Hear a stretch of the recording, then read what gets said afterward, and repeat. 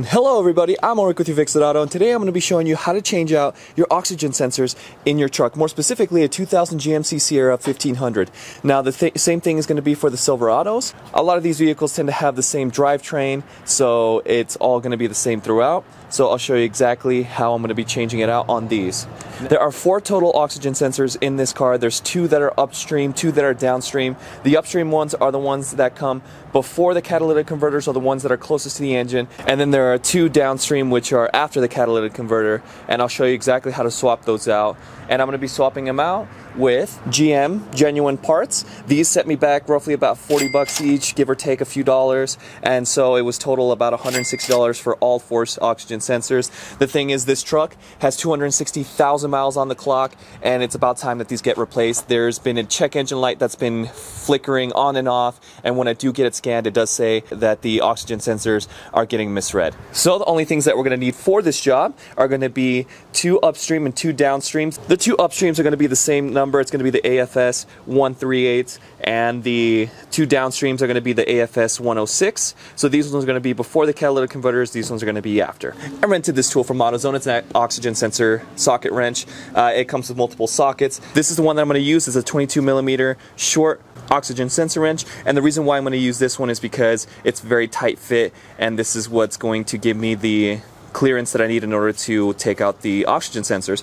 The reason why you need a special socket is in order to slip it through the cable and that way you can get to the nut here and then you could just put any 3 8 inch wrench right over here and then that way you can twist it off. If you can't find one of these sockets, one thing that you can do is you can actually clip off the wire in order to be able to fit a long socket in there. That is an option to do that. I prefer not to do that in case you do end up getting the wrong oxygen sensor. It does go out. You still have one that you can still use because when you clip it, it will no longer be usable. So now we just crawl underneath. So not to get better perspective, this is the catalytic converter on the passenger side. This is going to be bank two. The driver side is going to be bank one. Now, if you're sitting there wondering what makes bank one, what makes bank two, bank one will always be where your number one firing cylinder is, which in the case of this truck, it's going to be on the driver's side. In many cars, it's going to be on the driver's side, but you may want to make sure, and bank two is going to be just the opposite side of that. Whether the number two cylinder is going to be right behind it or right next to it doesn't matter. As long as you know what bank one is, bank two is going to be the opposite side. On the passenger side, here's the catalytic converter. The bank two sensor two is going to be right here and bank 2 sensor 1. Here's the cat, and then if you follow it, you'll see bank 2 sensor 1. I will actually start with bank 1 sensor 1 since we are before the cat. If you see here, if you follow this cable back, you will find the O2 sensor connector, and what you just have to do is go on this connector, pull up on this tab over here and then the sensor should just pop out. Um, now notice that there is actually kind of like a tree style clip here.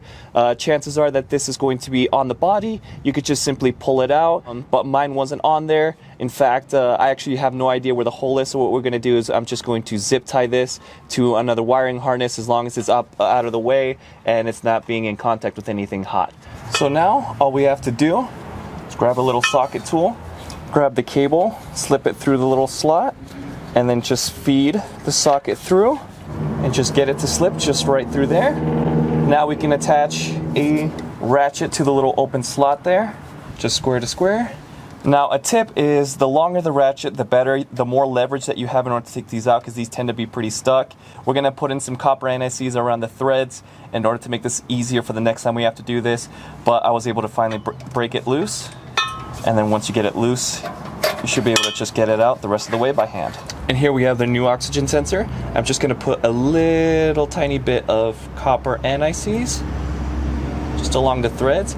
You wanna be very careful to put it just along the threads and not on the sensor itself. We're gonna be very careful, apply a very thin layer, it does not need too much. Once we have plenty of copper NICs into it, you can start threading this in by hand and then torque it down to 35 pound feet of torque. And now we can reach in. The angle is difficult here, but all you have to do is just connect the sensor And if you know where the clip goes, awesome. If not, then you could just tie it to another wiring harness that you see here with a zip tie and just get it up and out of the way. I would not recommend it going loose because you never know if it might hit something that's really hot. And now we just do the same thing that we did here and apply it to the other three oxygen sensors. I'll just speed through it and show you how I'm gonna do it. On bank two sensor one, I had to go from the outside in order to unclip this. It was just up and out of the way. So and then just remove the oxygen sensor. Then we put in the new oxygen sensor with fresh copper NICs on the threads.